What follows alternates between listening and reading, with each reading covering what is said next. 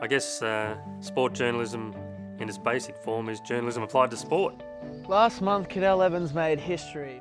Perhaps people sometimes forget that there's more to it than just liking sport. You actually need to be a journalist and then apply those uh, skills to the area of sport. La Trobe University's got the only sport journalism degree in Australia at undergrad level. I think probably others will follow us, but the reason we've got it is because there are specialist things that you need to know to be a sport journalist. So we teach you everything that journalists get taught, but we also teach you how to apply those skills in the sporting context.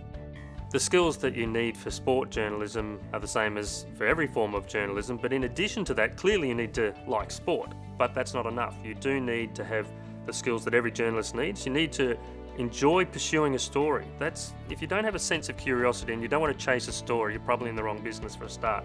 Then you've got to enjoy writing. Writing is the foundation. I'm strong on that. So you need to be a good, strong, solid writer. It doesn't mean you need to be the world's best, but you need to be a good writer. Sport journalism students need to know about politics, they need to know about police reporting, they need a working knowledge of the legal system. It is unbelievable now how many areas of life intersect with sport. If we think about the recent Essendon supplement scandal, there were a lot of different issues interplaying. It wasn't just a sports story, there were stories about uh, procedure, about corporate governance, about uh, politics, because after all, the, uh, the previous federal government called it the blackest day in Australian sport and had this big showboat press conference. So you needed to know at least rudimentary um, knowledge of all of those areas. And it's why we say to incoming undergraduates, if you haven't done politics at school, take it up as an elective because you will need to know about the difference between, say, the House of Reps and the Senate. Legislation is passing through that affects sport, and you may find yourself, of course, uh, interviewing the sports minister. It would help to know a little bit about what they do for a living.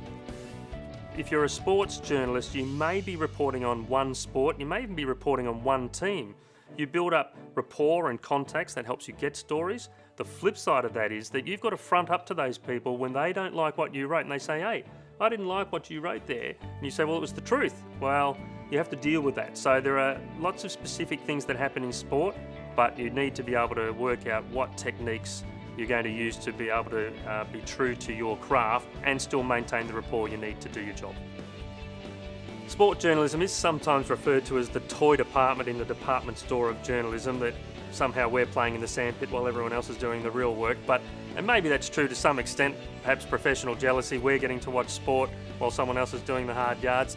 We have um, a lot of issues in sport that are serious, but yes, it is about entertainment sometimes, and I think that's okay.